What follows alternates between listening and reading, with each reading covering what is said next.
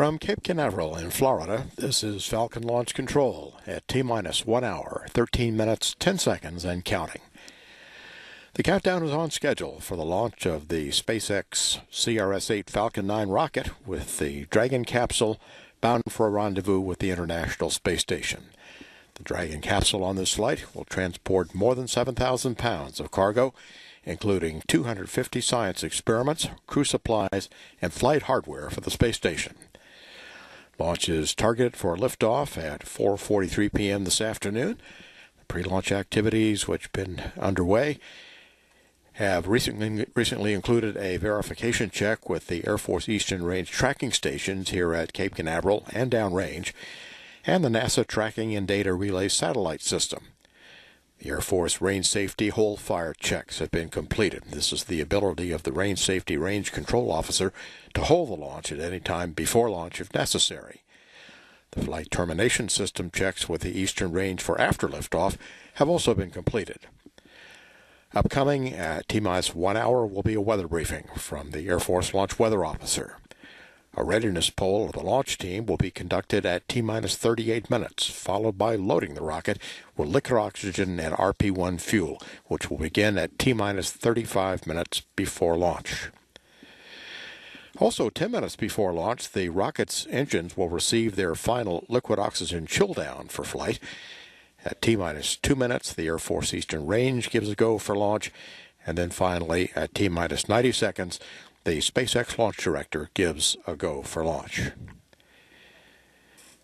At this time, weather continues to look favorable. We're not working any problems in this countdown, and we are on schedule for launch at 4:43 this afternoon. At T minus 1 hour, 11 minutes, 13 seconds and counting, this is Falcon Launch Control.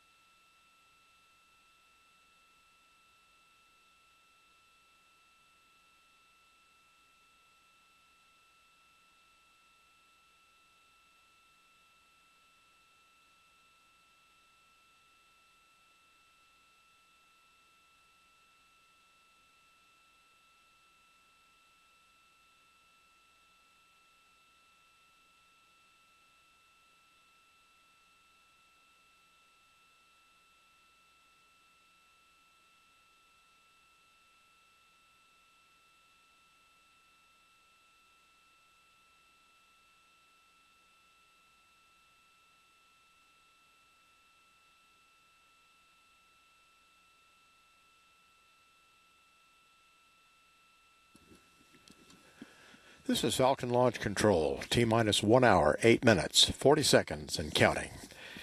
Joining us now here in the Mission Director Center is Dr. Howard Levine, Chief Scientist for the Utilization and Life Sciences Office at the Kennedy Space Center.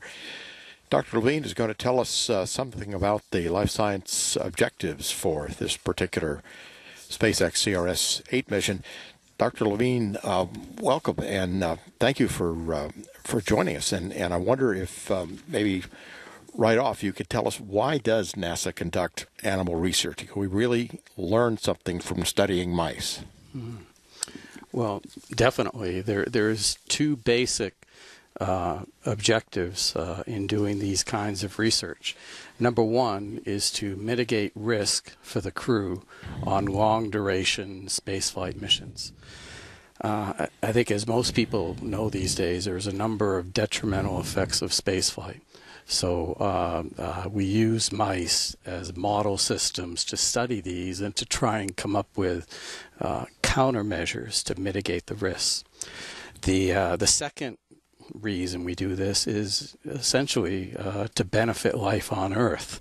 Many of the things that we learn through these studies uh, are very useful for mitigating uh, different kinds of diseases uh, and detrimental uh, uh, effects of bed rest, for instance, or cancer drugs on Earth.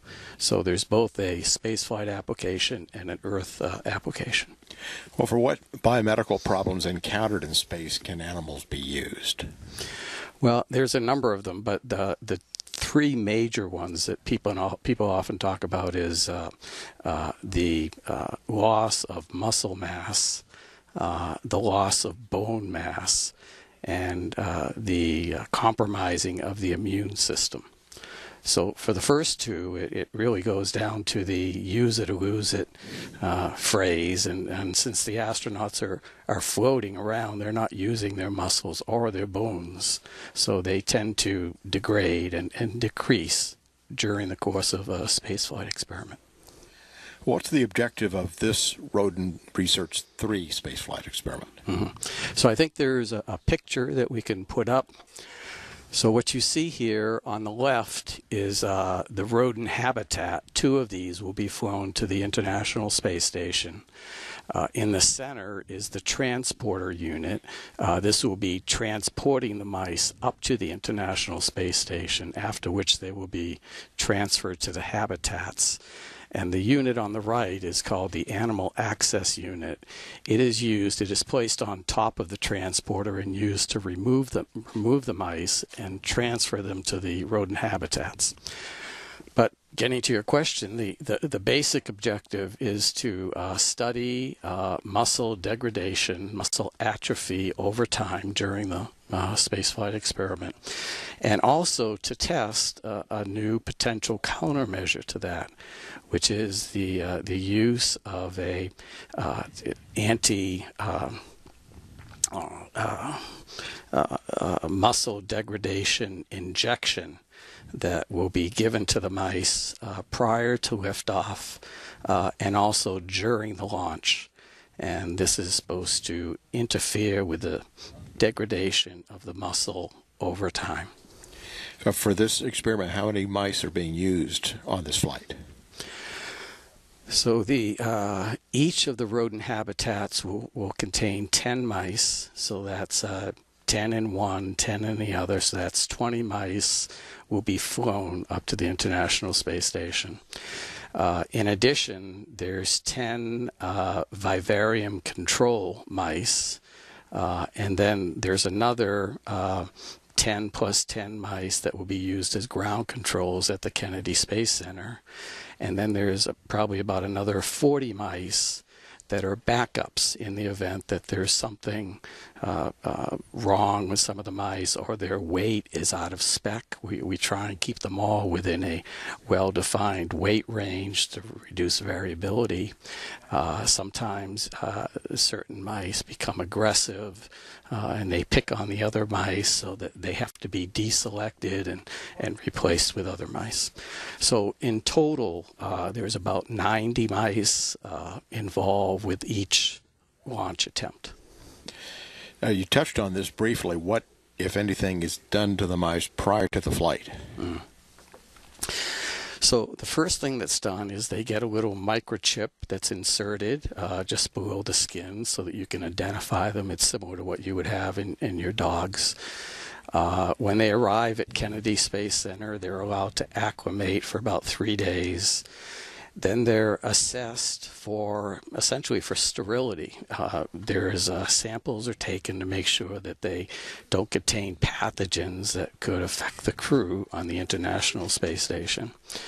Uh, they are then put into cages and they are assessed uh, for their sociability, okay, whether they get along with each other.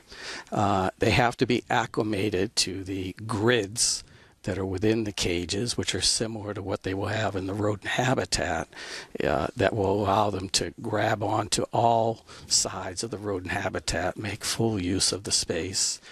Uh, they also have to acclimate to the uh, food bars, uh, which is a different kind of food, and to the water delivery system. Uh, then, uh, at a certain point in time, they are assessed for their um, strength in their front limbs.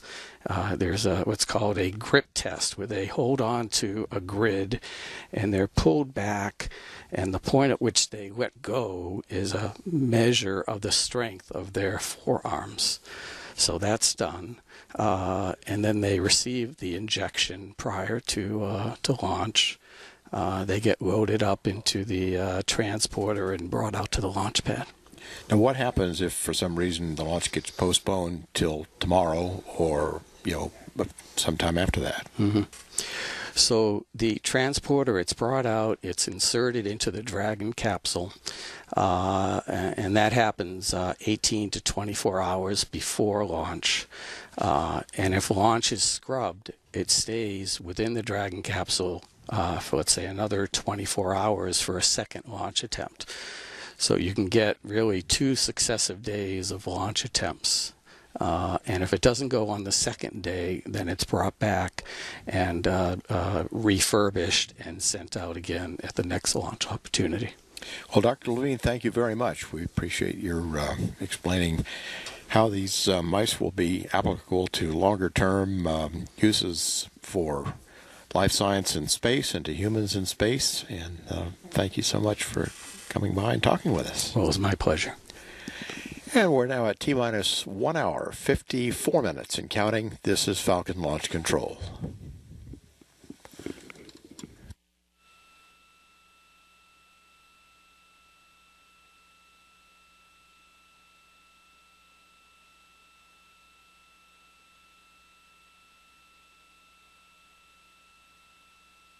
was live.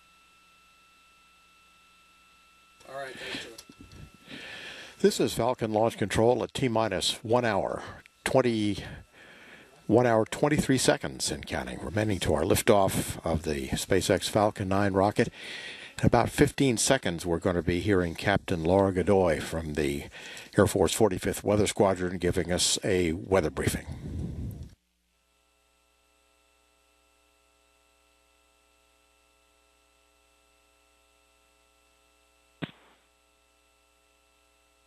On CC Local and Weather Brief with your L minus one hour weather briefing.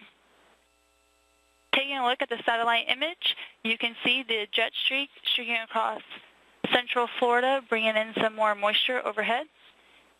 The low-level stratocumulus clouds over the recovery, first stage recovery area is pushing out into the Atlantic.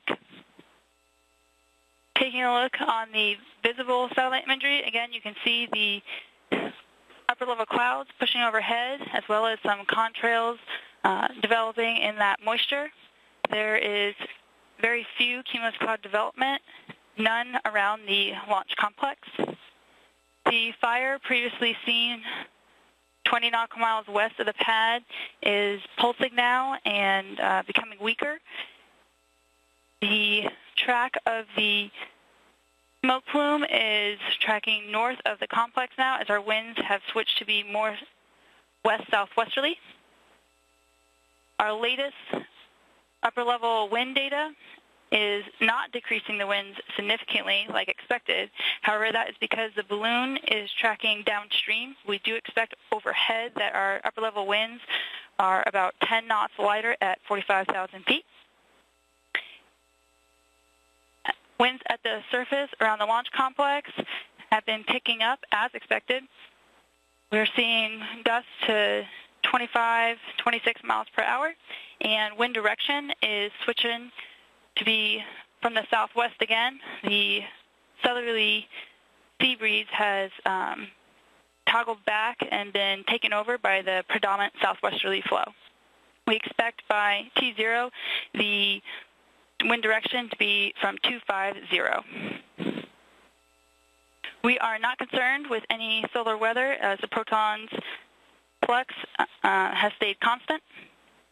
We are go for all launch commit criteria. That's all range and user criteria. The launch forecast calls for just few cirrus clouds at 25,000 feet. Winds will be from the west-southwest, 17 gusts 22 miles per hour. And we remain less than 10% for probability of violation. For the first stage recovery, we're expecting nearly clear skies with wave heights only 4 to 6 feet. Wave directions are from the west, and wind speeds remain really similar to what we're observing here at the Cape. Overnight, we're expecting the winds to trend upwards, gusting to about 27 miles per hour at the launch complex, and that would be peaking at midnight and trending, trending downwards on Saturday. We are not expecting any rain or lightning on the complex over the next 24 hours. In the event of a 24-hour delay, we're expecting few cumulus clouds to develop. However, we're not expecting significant vertical extent on that. That is why we're going uh, with a 10% probability of violation on Saturday. And winds will be from 030 due to a weak sea breeze setting up, and they'll be a little bit lighter than we're seeing today. This concludes my briefing unless there are any questions.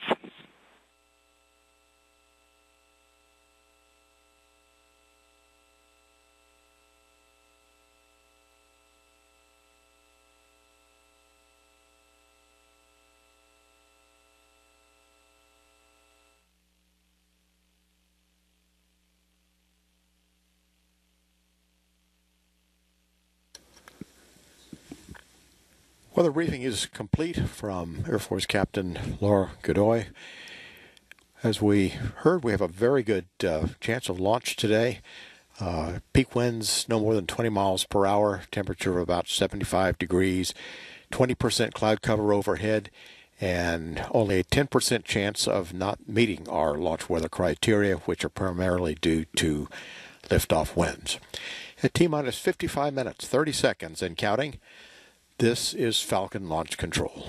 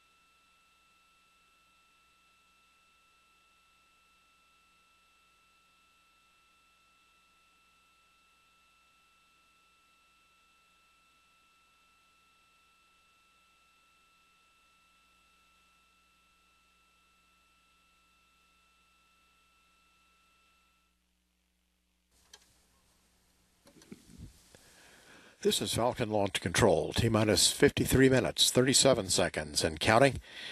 We're being joined now by Gioia Massa, the NASA Veggie Science Team lead for Veg 03, flying on this SpaceX mission from the Kennedy Space Center.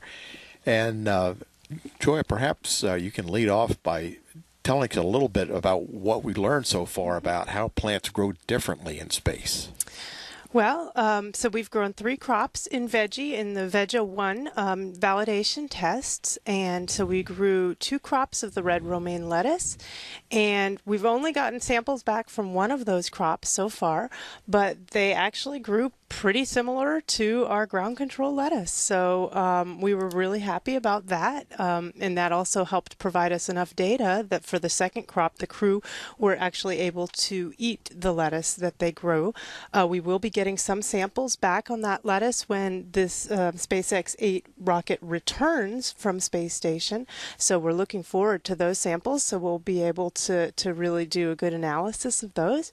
We also grew the zinnias um, on on space um, on the the space station, and Scott Kelly harvested those on Valentine's Day, um, and they grew also very well. So we'll look forward to getting some of the samples of those flowers back as well. And so for Veg 03, we're going to add a new crop. Um, that's going to be the Tokyo Bekana Chinese cabbage. We have some seeds of that here. A little hard to see. They're little tiny round balls. Um, and so we're sending those along with some more of the Outredgeous lettuce seeds that we um, sent before. Well, tell us a little bit how the astronaut role in Veg 3 will be different for this mission than it may have been for the others. That's a, that's a great question, George. One of the things that we're working on adding that we added to um, the the zinnias was autonomous gardening, and so we're looking at um, having the crew really take take ownership of the plants that they're growing, and so they will um, figure out how much water to add um, and when to do the other operations. We're giving them some guidelines for that, and you know we think that that we really want them to to be able to be really actively involved in the gardening process, not just dependent on all the instructions from the ground, because they're the ones who are seeing the plants, so that they can respond to the needs of those plants. So their role once they get get our cargo from from the Dragon, mm-hmm. what will they have to do to get these plants started? So we're sending the plants up in plant pillows. These are dried kind of grow bags. We have them filled with a media, which is a baked ceramic substrate. It's kind of like a a kitty litter almost, but it's a porous ceramic media. It's the same material that's used on baseball fields and golf courses. And in that media, we also have a controlled release polymer fertilizer that will slowly release the nutrients that the plants need. Everything is sent up dry, and the seeds are planted in these little wicks that are right here in the plant pillows. And they're glued in there, so they're in these gas impermeable bags. They're kind of a crinkly bag, and they'll keep the seeds really fresh for a long time. So the astronauts will unload um, the Veg03 plant pillows and they'll stow them. And then when there's an opportunity to grow these plants, um, they'll add water. And and these plant pillows they have kind of a, a water tube that injects water in in a ring inside and that water's that ring's embedded in in that substrate that that that um, porous media.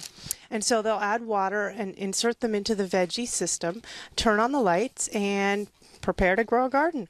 Um, so these both of these crops, the Chinese cabbage and the red romaine lettuce, will grow for about a month, and we're working on getting the approval for the crew to eat the Chinese cabbage. We already have the approval for them to eat the red romaine lettuce, so we'll still bring some of the plant samples back to Earth. on a future space exhibition, probably. So they'll be stored in the freezer until then. So we can just check and compare with our ground control plants. Well, Joy, thank you very much. Thank Joy, you, George. Gioia Massa, our NASA Veggie Science Team lead for Veg 03 from the Kennedy Space Center. Thank you. And we're now at uh, T minus 49 minutes and counting. This is Falcon Launch Control.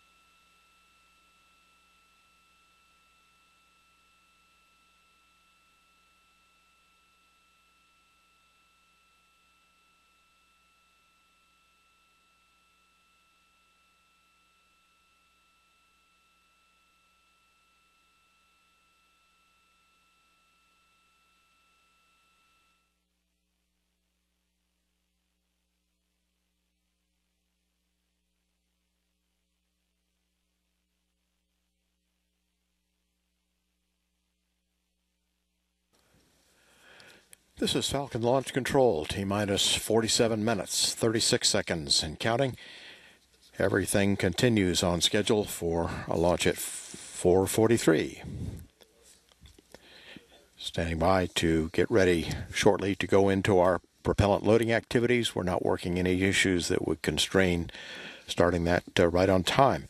One of the uh, largest experiments aboard Dragon flying into space inside the uh, unpressurized part of the uh, Bigelow expandable, uh, or rather the uh, Dragon capsule, is the Bigelow expandable activity module. This was privately developed by Bigelow Aerospace.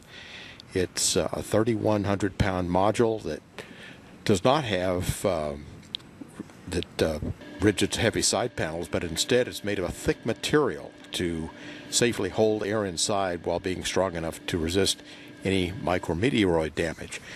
Once mounted to the space station, as its name implies, it will be expanded to a length of 13 feet with a 10.5 foot diameter width, about four times its packed volume inside the Dragon.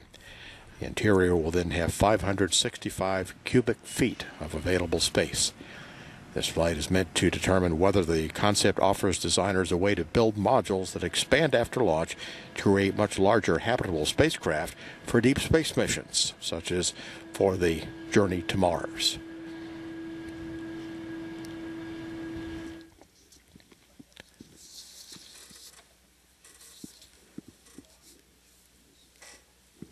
We're now at uh, T minus 45 minutes, 56 seconds, and counting.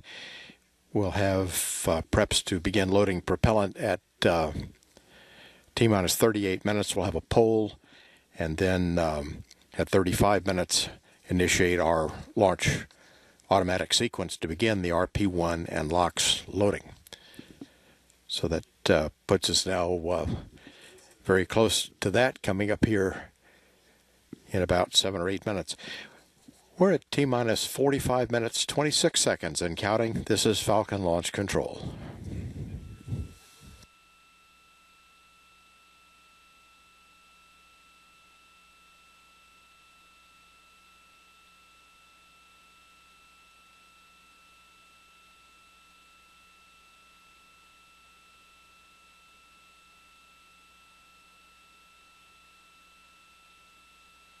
OSM LC countdown net. Oh, OSM. Um, verify the BDA is clear and the flight hazard area roadblocks are established. BDA is clear and the flight hazard area roadblocks are established. OSM verify go for propellant load. Go for propellant load.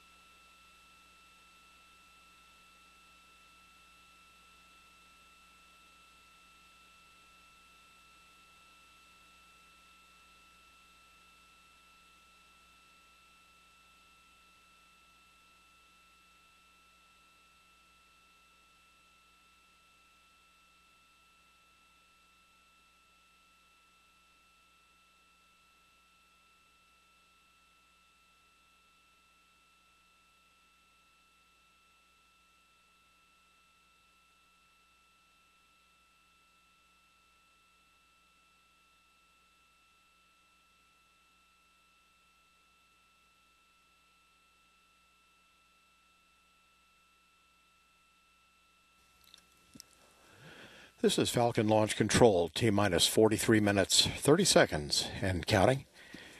We see the Falcon 9 rocket live out on the pad. Preparations now underway to begin the propellant loading sequence, which will start at T minus 35 minutes. We'll have a poll of the team before that. Here's an animation of the Falcon 9 rocket as it's prepared for launch raised to vertical.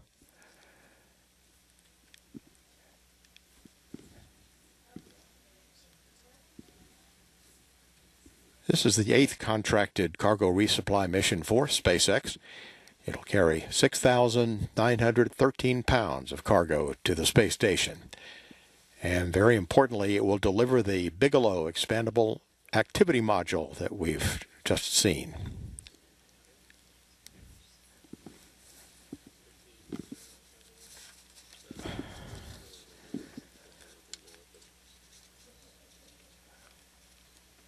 Completely clear skies here at the lot site.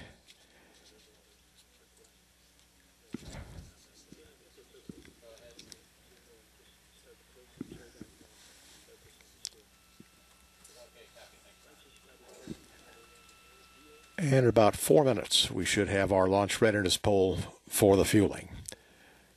At T minus 42 minutes and counting, this is Falcon Launch Control.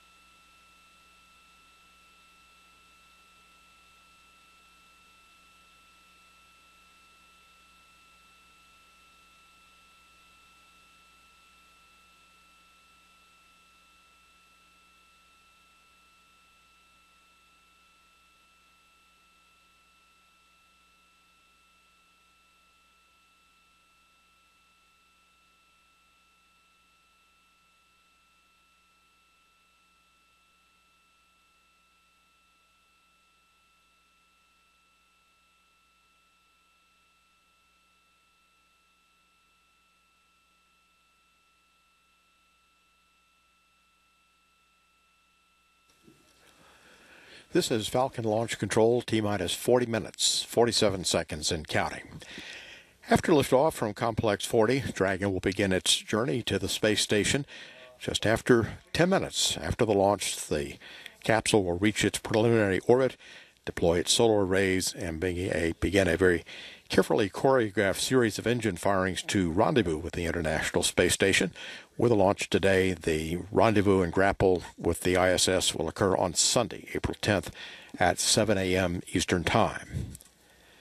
At the time of launch today, the International Space Station will be an altitude of 250 miles over northwestern Iraq.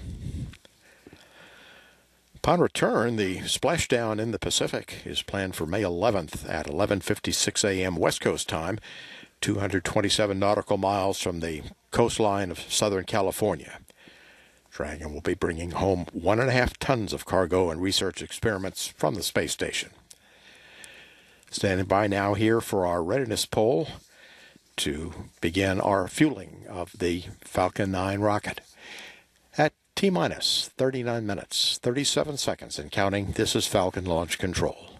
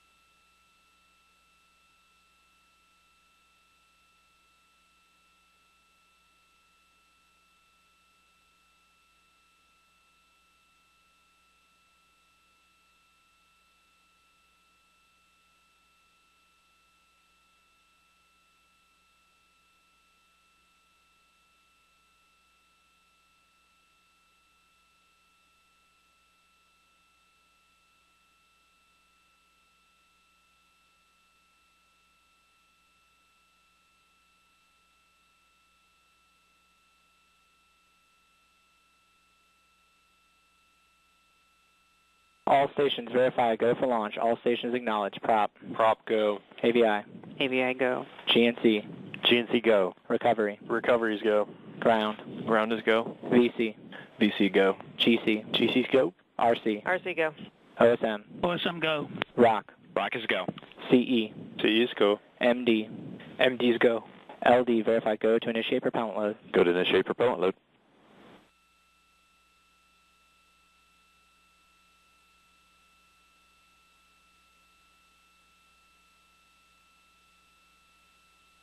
VCDC, start your launch auto sequences set to start at T-minus 35 minutes. Copy. Launch auto is queued. Waiting on T minus 35 minute trigger.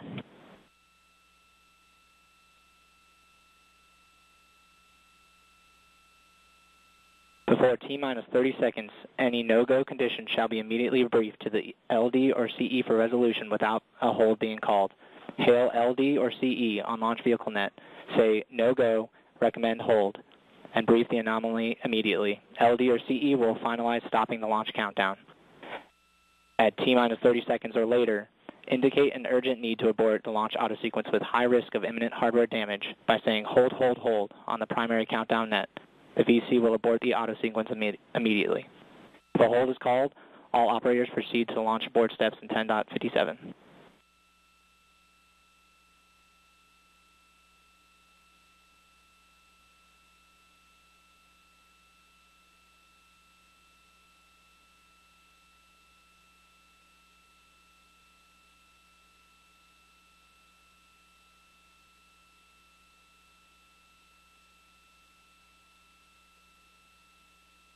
Falcon 9 tanks are vented for propellant load.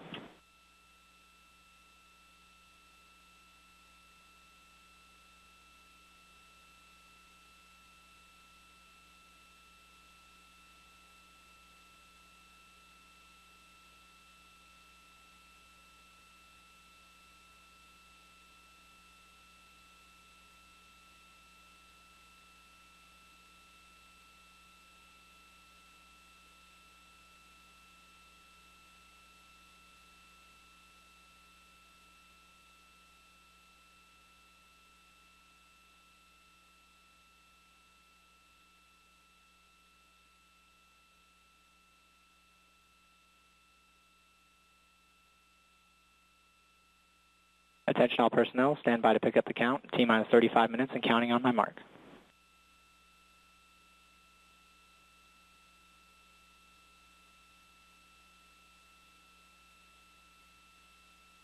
Three, two, one, mark. VCDC, announce your launch auto sequences have started. F9 launch auto sequence has started. Dragon terminal count has started.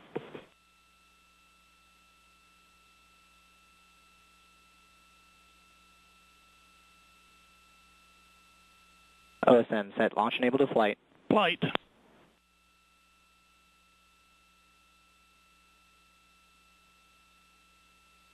Stage 1, Stage 2 DP's tracking.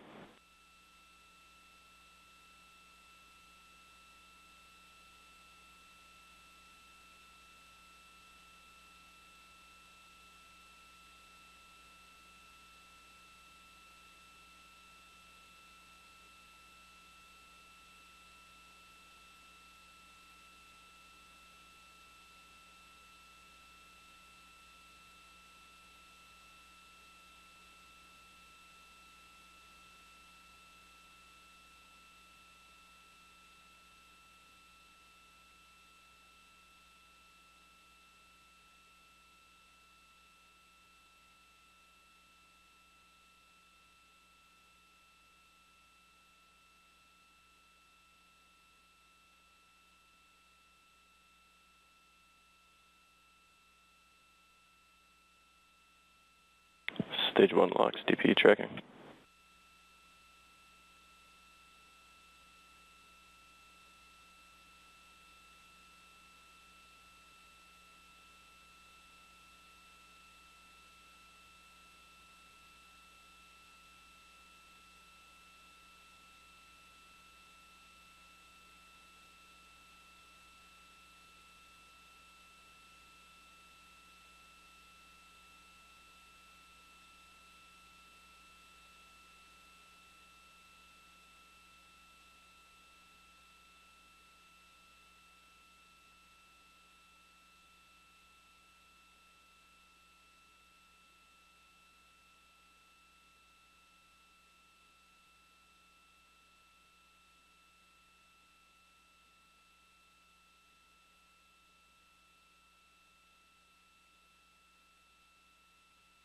Stage one, stage two fuel flow rates. Right on target.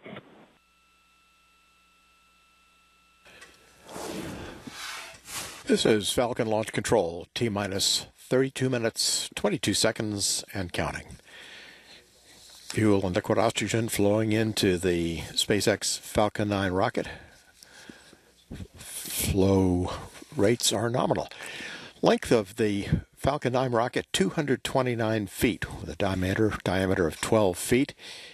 It has nine Merlin engines, 1D engines that provide a thrust of 1 million, 1.53 million pounds.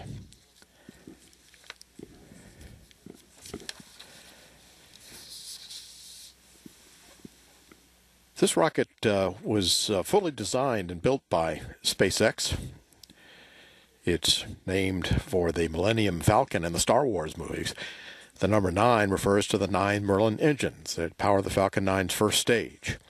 The Falcon 9 is designed to carry both commercial and government satellites, as well as SpaceX Dragon cargo with supplies, and eventually up to four astronauts up to the International Space Station as part of the commercial crew program.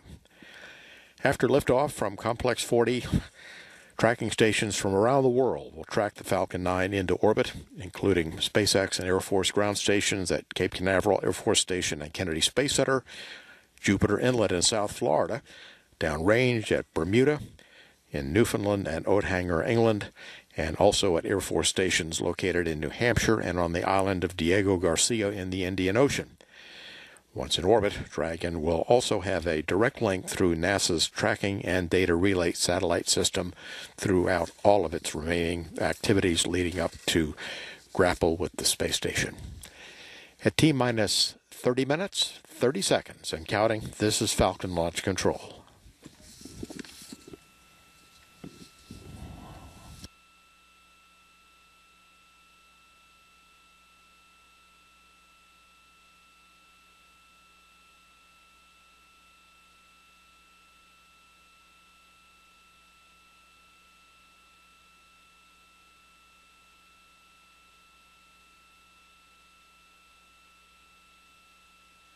Minus 30 minutes.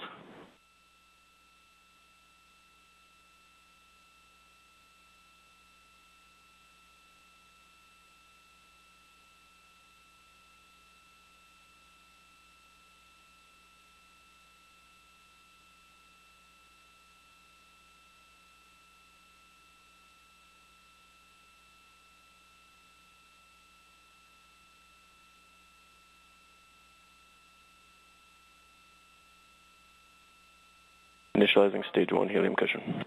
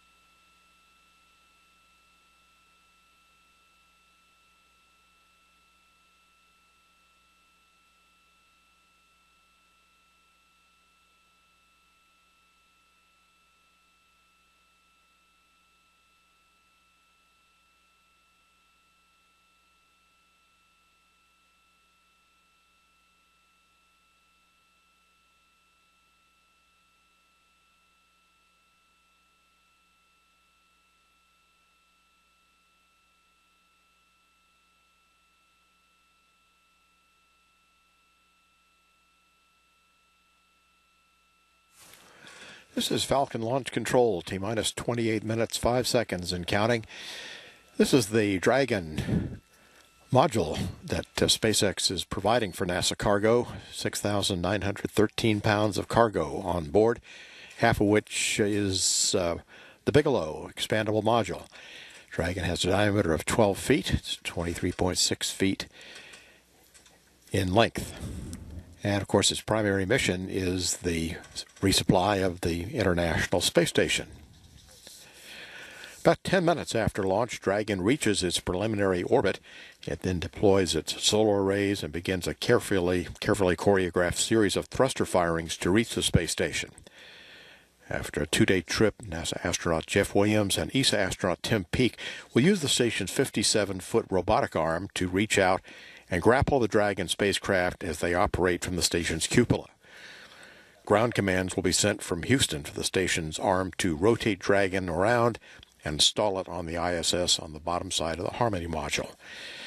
By the next day, the crew will pressurize the vestibule between the station and Dragon will open the hatch that leads to the forward bulkhead of Dragon. Then, during over the next month, the crew will unload the spacecraft and reload it with cargo for return to Earth. Departure from the ISS will occur on Wednesday, May 11th and will bring back experiments and biological samples from the flight crew, including those samples collected from the astronauts during their one year mission. For its return, approximately five hours after Dragon leaves the station, Dragon will conduct its deorbit burn, which lasts about seven to ten minutes. It will then take approximately 30 minutes to re enter the Earth's atmosphere and splash down on its three main parachutes in the Pacific Ocean, 227 nautical miles off the coast of Southern California at about 11:56 a.m. Pacific time. At T minus 26 minutes, 5 seconds and counting, this is Falcon Launch Control.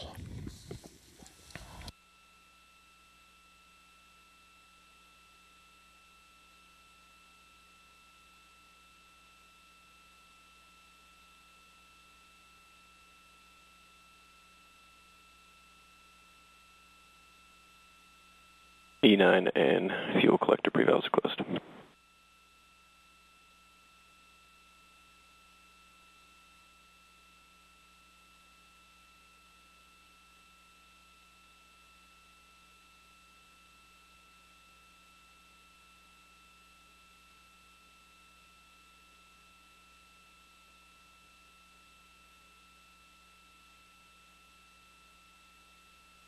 All three liquid helium pumps are running to the rail cars.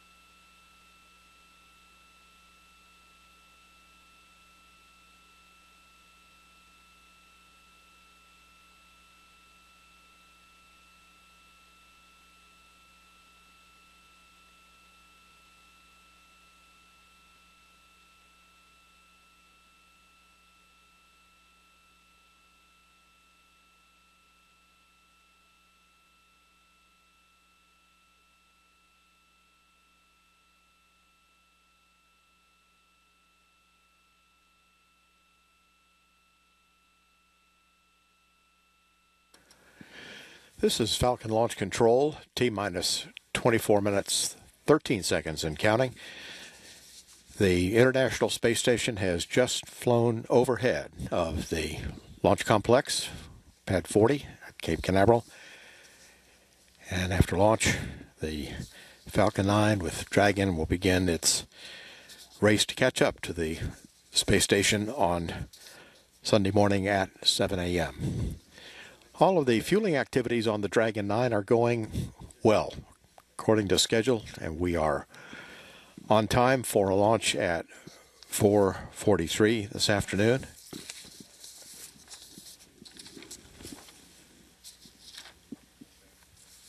And actually, uh, that launch, uh, it's a one second launch window, and the uh, actual liftoff time is 4:43:32 p.m. Eastern.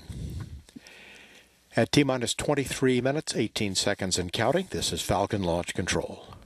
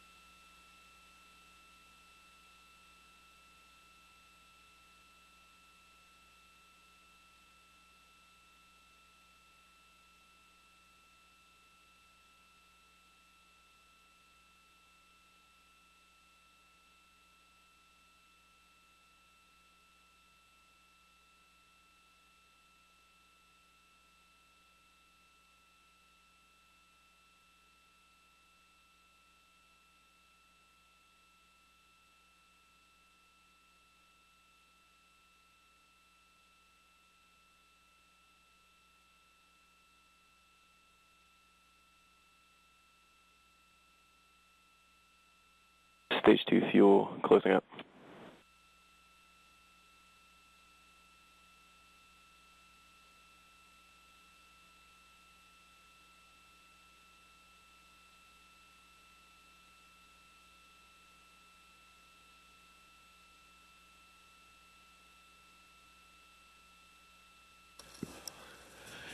This is Falcon Launch Control, T minus 20 minutes, 21 minutes, 30 seconds, and counting.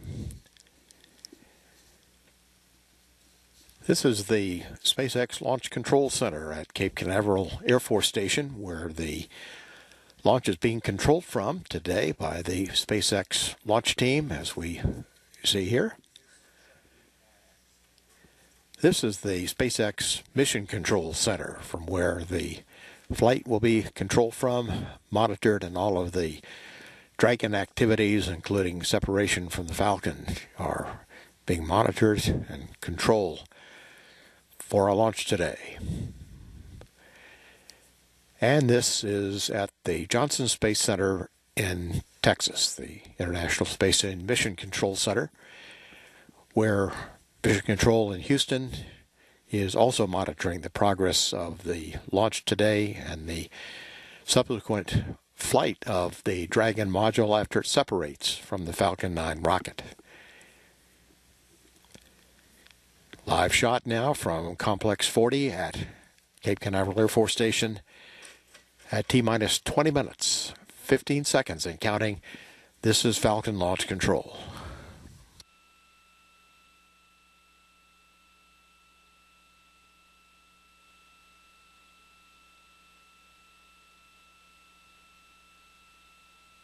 T minus 20 minutes. Stage 2 liquid oxygen load set to start in 30 seconds.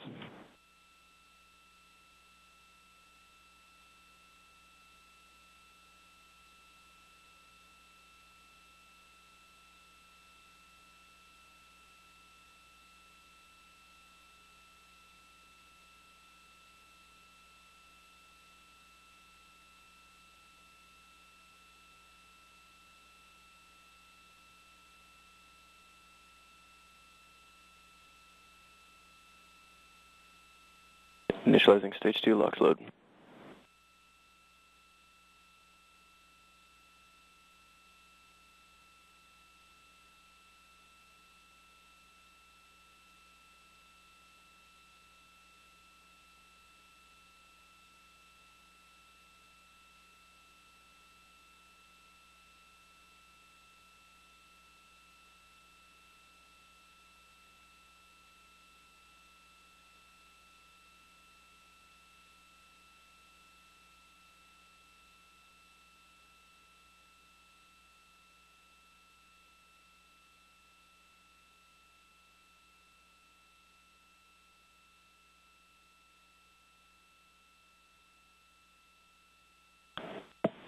Stage 2 LOX DPs are tracking.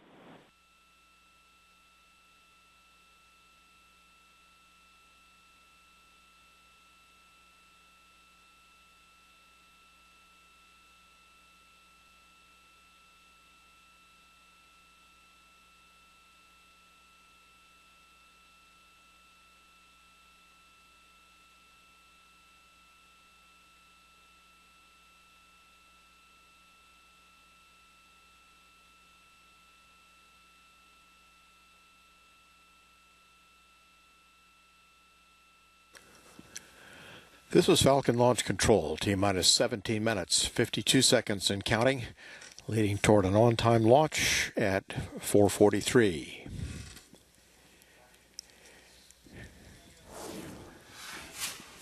This is the complete Falcon 9 rocket with the uh, Dragon atop, second and first stages, length 229 feet overall, 12 feet in diameter, nine Merlin 1D engines with 1.53 million pounds of thrust.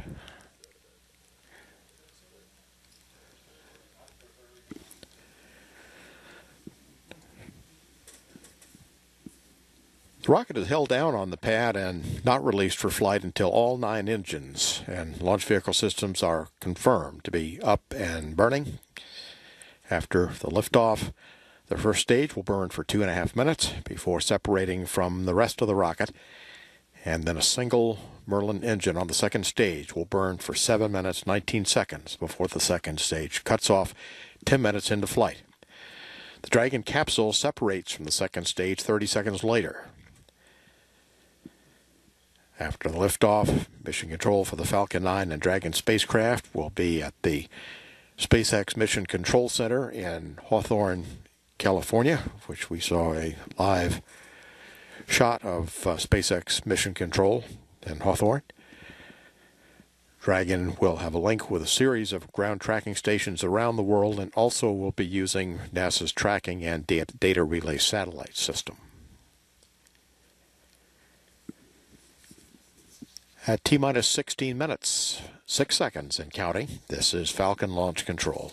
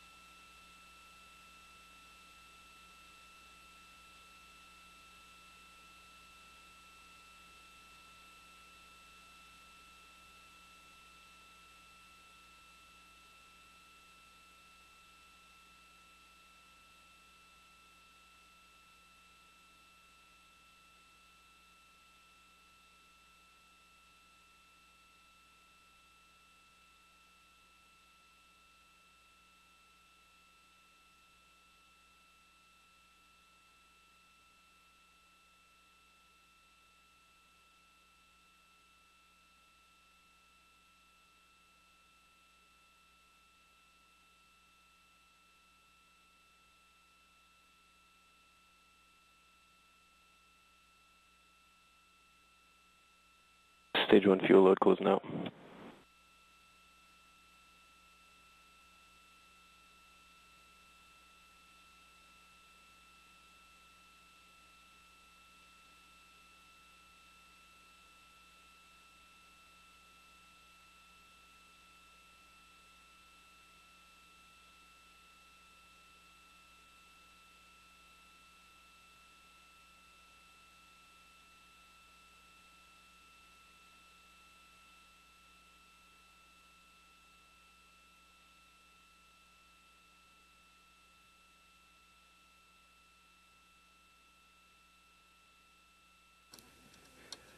This is Falcon Launch Control at T minus 14 minutes and counting, getting ready for a readiness poll of 14 console positions, followed by a readiness at T minus 11 to start the terminal countdown auto sequence, which begins at T minus 10 minutes. At T minus 10 minutes, the Falcon 9 and Dragon auto sequence is started, leading us down to liftoff, and we'll also begin chilling the nine first stage Merlin engines for launch. Shortly after that, Dragon will be going to internal power. At T minus 13 minutes, 20 seconds and counting. This is Falcon Launch Control. Stage 2 helium fill has started.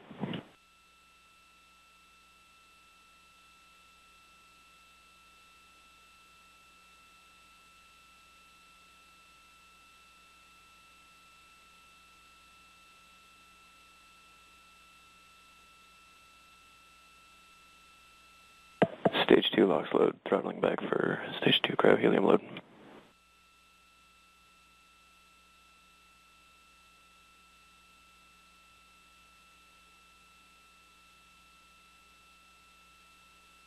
MVAC and M1D BTV heaters are up.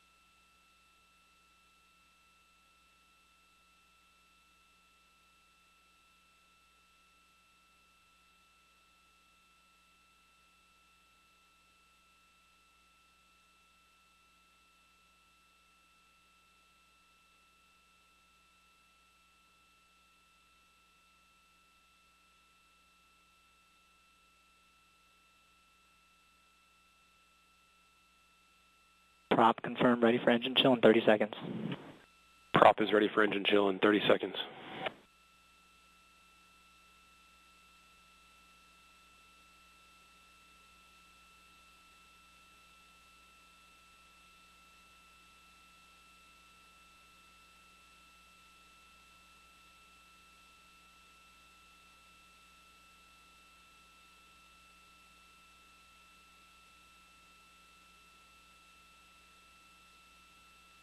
And closing out grid fin bottle fill and disabling boost back hazards.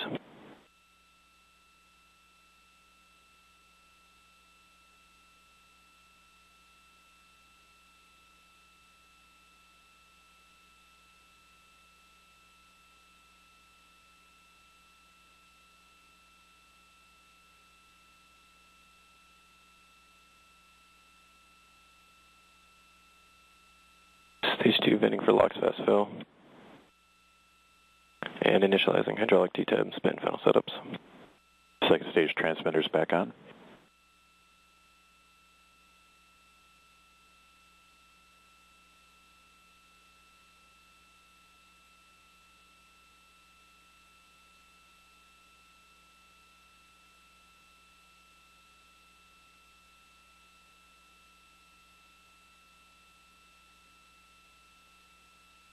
Initializing M1D trim valve setups.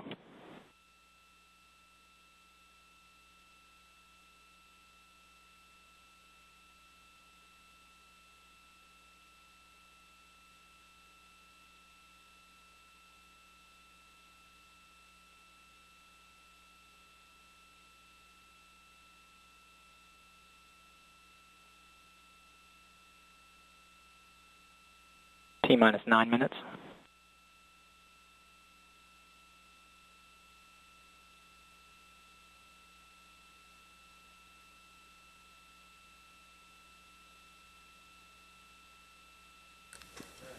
This is Falcon Launch Control, T minus 8 minutes, 42 seconds and counting.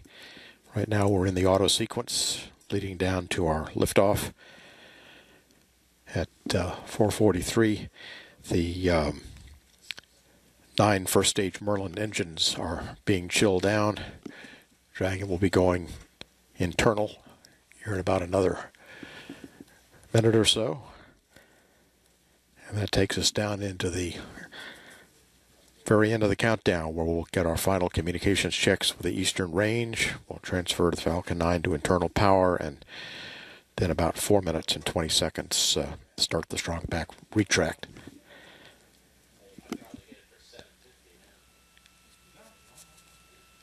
We're now at T minus 7 minutes, 53 seconds and counting. This is Falcon Launch Control. Initializing MVAC FTV setup.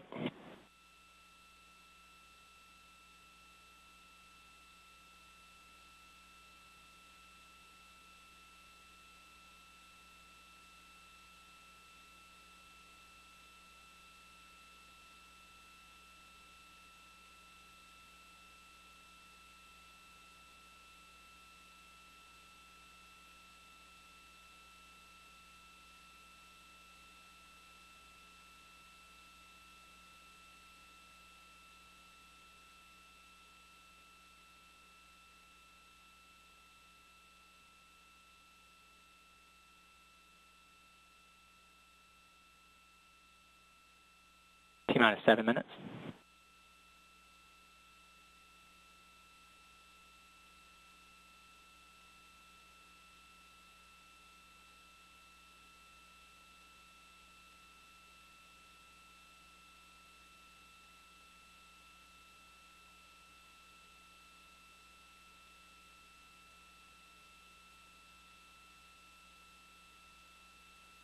Stage 1, Stage 2, LOX flow rates all nominal.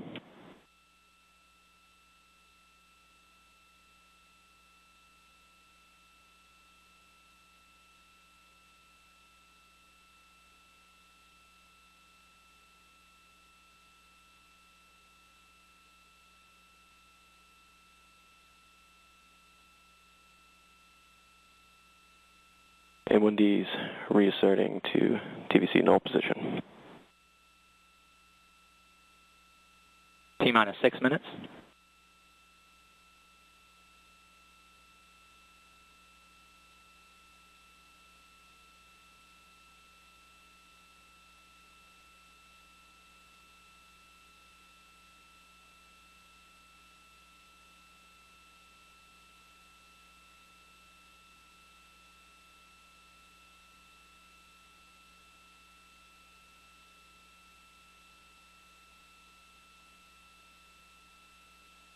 Vehicles in self-align.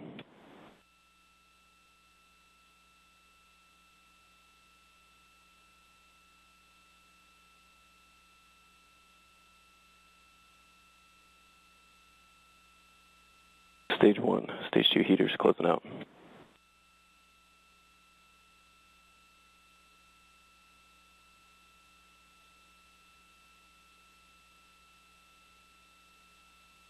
T minus five minutes. Stage one helium bubble secured. NIFCO, OSM, RCO. This is RC on countdown one with a com check. NIFCO has you loud and clear. This is the RCO. OSM has you loud and I clear. have you loud and clear. Copy. Have all parties loud and clear. Moving to range ops. Stage one, stage two, press for strong back retract.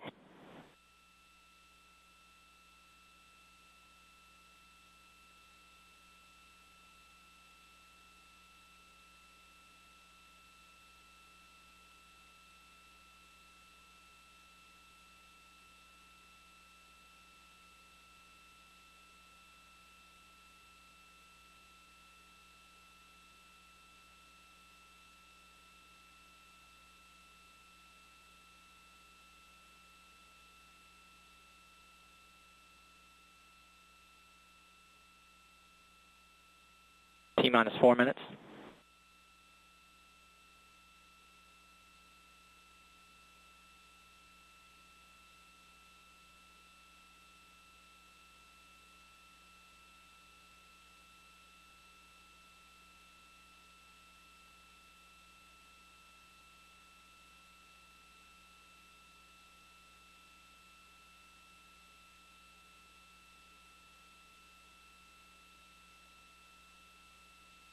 Strong back motion has started.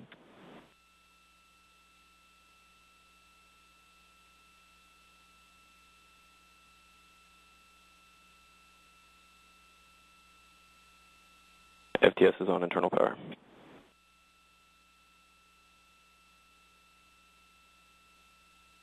FTS is armed. VC verify FTS is ready for launch. FTS is ready for launch. GNC verify stage two TVC motion nominal. GNC confirms good stage 2 TVC motion.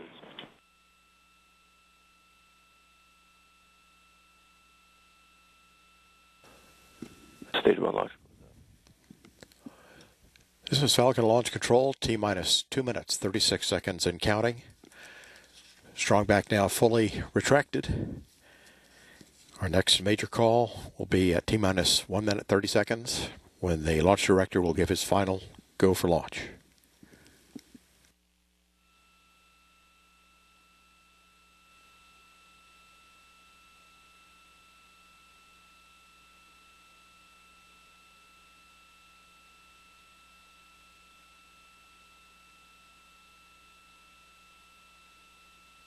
Stage two locks goes up. Two minutes. Falcon 9's on internal power.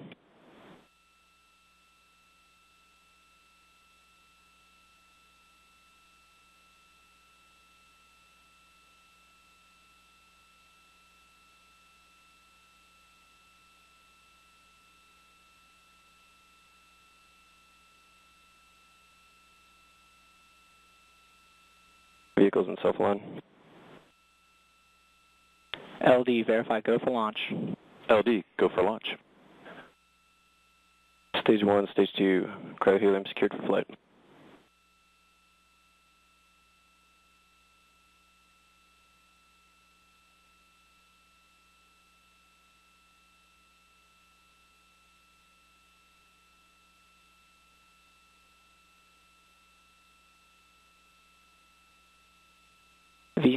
Verify Falcon 9 and Dragon are in startup. Falcon 9's in startup. Dragon is in startup.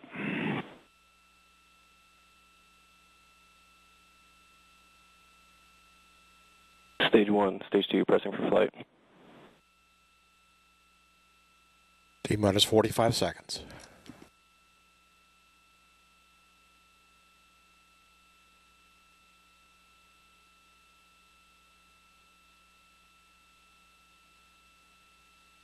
Minus 30.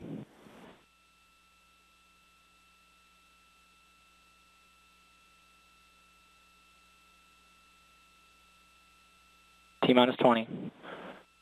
Falcon 9 secured. Flight pressures. T minus 15 seconds. D minus 10, 9, 8, 7, 6, 5, 4, 3, 2, 1. Engine ignition, liftoff of the Falcon 9 rocket with science for today and for deep space exploration tomorrow. Falcon 9 has cleared the towers.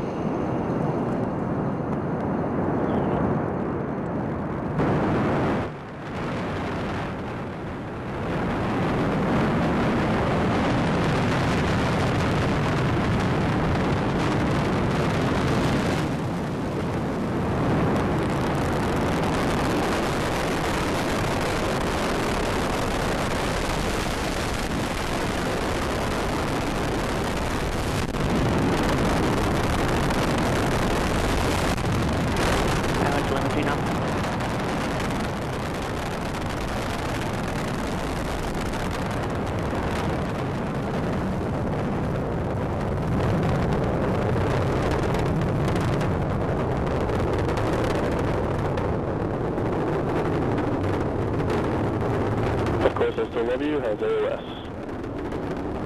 Vehicle now going through the sound area. Vehicle's now transonic. Through max Q.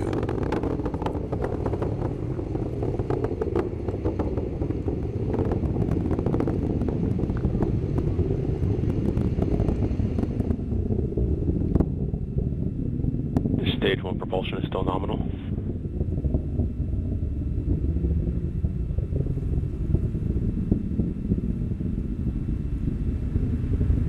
MVAC chill has begun.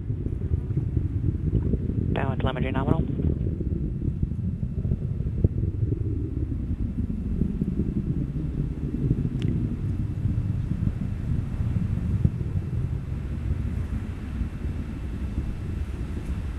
Launch plus two minutes.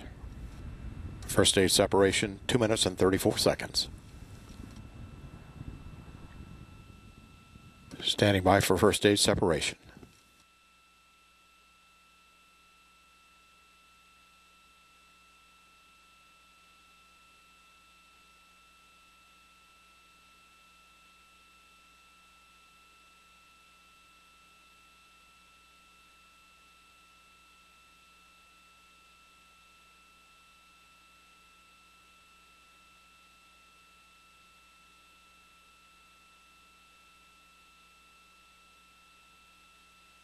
Stage sep. First stage separation confirmed. Second stage ignition.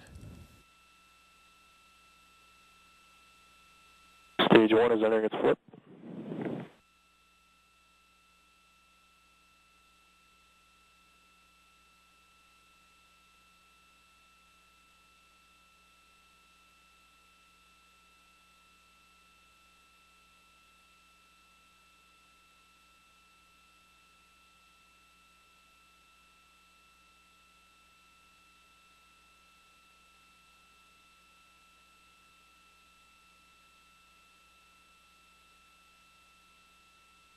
Dragon nose to play.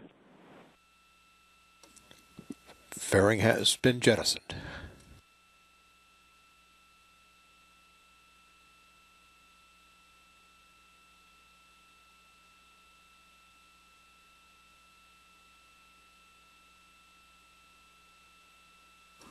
Can clearly see the first stage falling as the second stage continues to burn, and it will burn for the remainder of the flight till 10 minutes Stage into the 2 mission. propulsion is still nominal.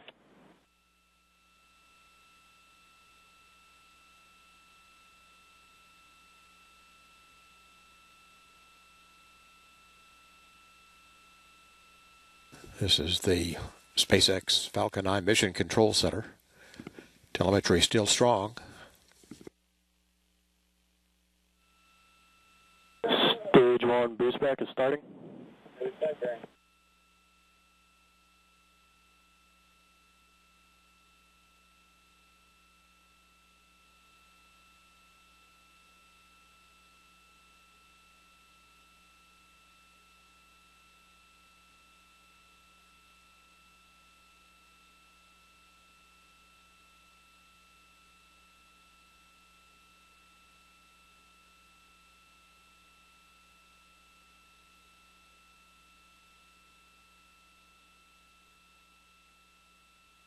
Stage 1 boost back is ended.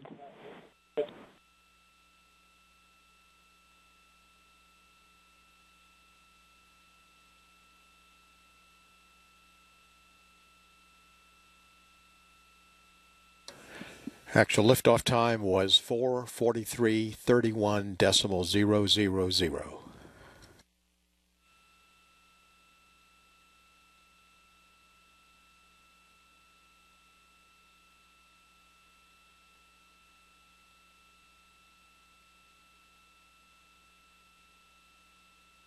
Acquisition signal Bermuda.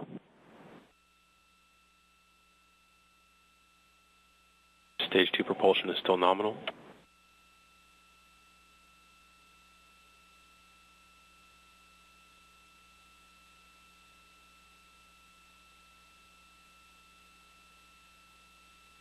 Stage 2 power and telemetry still nominal.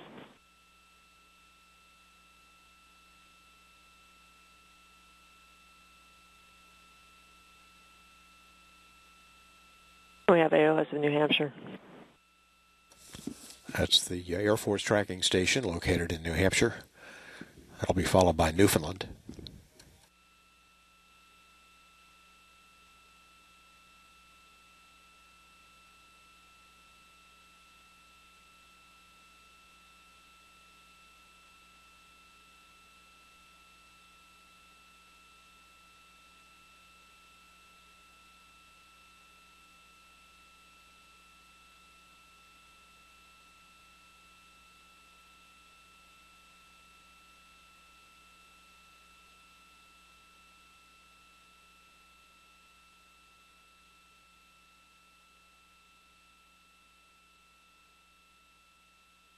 Stage 1 entry is started.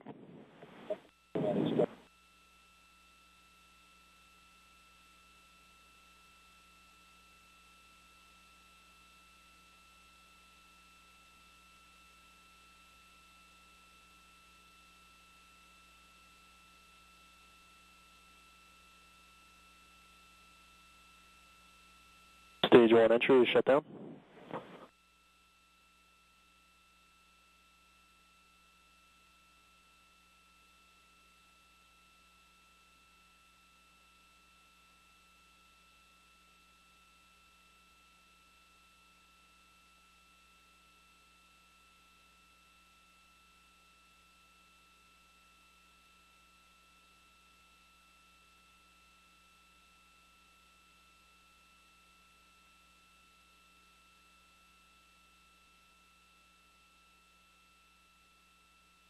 Stage 1 is transonic.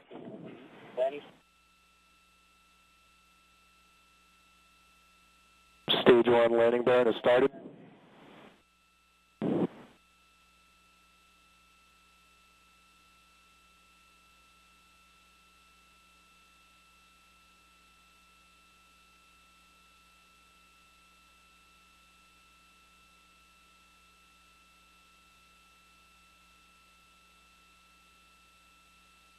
Landing legs have deployed.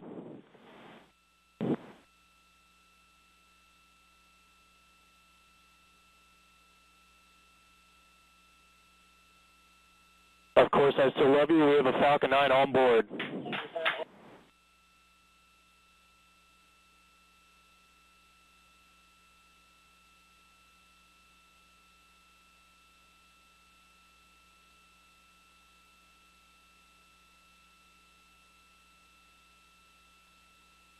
Landing operators moving to procedure 11.100 on recovery net.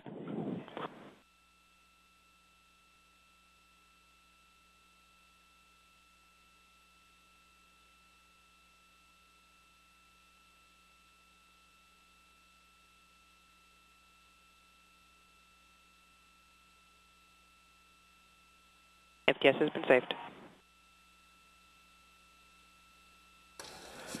Flight of the Falcon 9 second stage continues to go nominally. As we've seen, the first stage has successfully landed on the barge in the Atlantic Ocean.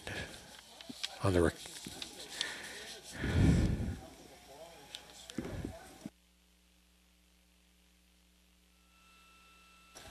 as we saw, there was a lot of excitement in the SpaceX Mission Control in Hawthorne when it touched down.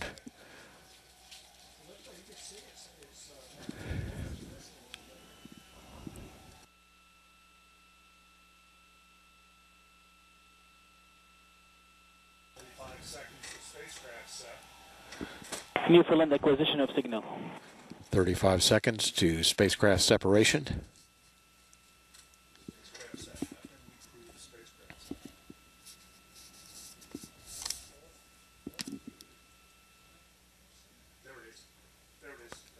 deploy confirmed. And we've got it. Spacecraft separation. Dragon has separated from the Falcon 9.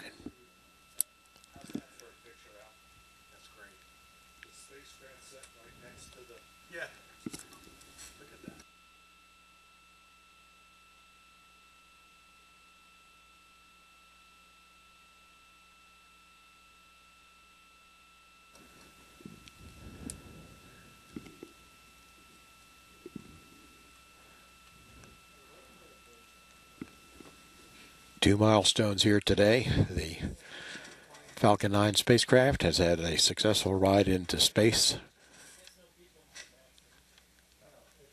Position at Newfoundland. The uh, Dragon is now on its own. Next activity will be to deploy the solar arrays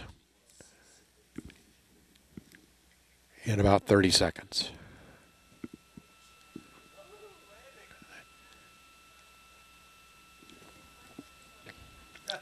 And a successful landing of the uh, first stage offshore.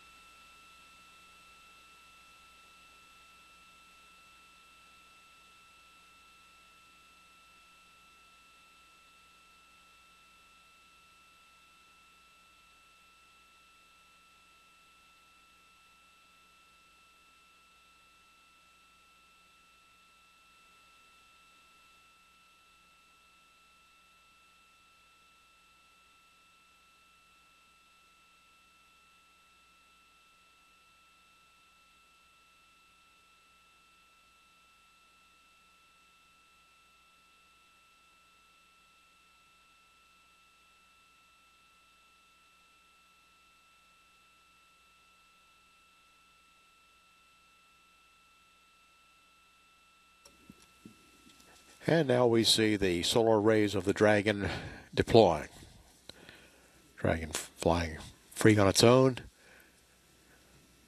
This is live video from the Dragon of it deploying its solar arrays.